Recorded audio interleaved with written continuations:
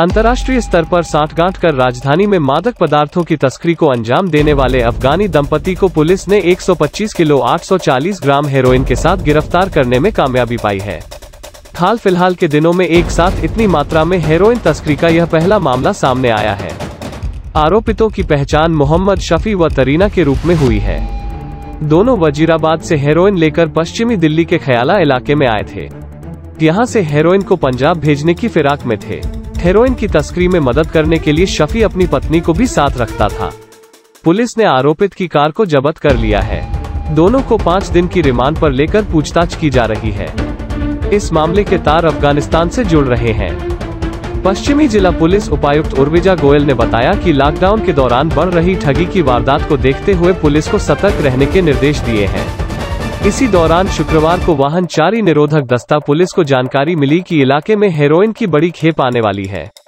इसके बाद पुलिस ने इस सूचना के आधार पर छानबीन शुरू कर दी। पुलिस को पता चला कि वजीराबाद से हेरोइन की तस्करी करने के लिए दो लोग खयाला आने वाले हैं। मामले की गंभीरता को देखते हुए इंस्पेक्टर प्रमोद तोमर के नेतृत्व में एक टीम बनाई गई और खयाला के गंदा नाला रोड स्थित गैस एजेंसी के आसपास निगाह रखनी शुरू कर दी। शुक्रवार एक उजले रंग की कार आई और गैस एजेंसी के पास सड़क किनारे खड़ी हुई। इसके बाद एक पुरुष व एक महिला कार से उतरकर किसी का इंतज़ार करने लगे। काफ़ी देर बीत जाने के बाद भी जब कोई नहीं आया तो पुलिस की टीम ने और इंतज़ार करना ठीक नहीं समझा और दोनों से पूछताछ शुरू की। कार की तलाशी लेने पर उसमें सात प्लास्टिक बैग में हेरोइन मिले। इसके बाद दोनों को गिरफ़्तार कर लिया गया।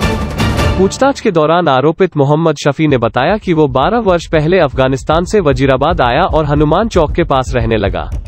वो पहले भी कई बार हेरोइन तस्करी का काम कर चुका है।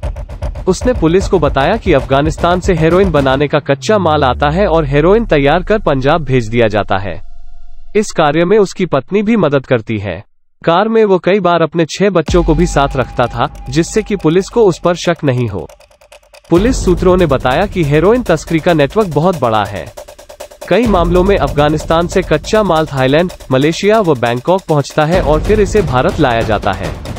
बाद में अन्य राज्यों में इसकी तस्करी की जाती है।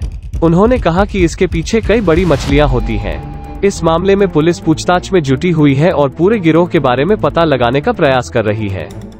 सनसनी ऑफ़ इंडिया नेटवर्क अपने आसपास होने वाले क्राइम से सजग रहने और क्राइम वीडियो देखने के लिए Sansani of India YouTube channel को लाइक शेयर और अगर आपने हमें अभी तक सब्सक्राइब नहीं किया है तो तुरंत सब्सक्राइब करके बेल आइकॉन को भी दबा दीजिए ताकि हर क्राइम ऐसी आप रहे जागरूक।